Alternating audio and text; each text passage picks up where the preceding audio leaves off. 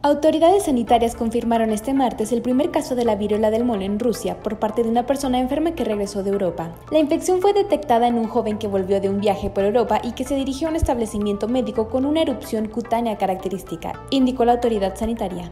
El mismo organismo agregó que el círculo de personas que estuvieron en contacto con el paciente ya fue identificado. Desde el mes de mayo, Europa se ha visto en grandes afectaciones por el alza de casos de viruela del mono.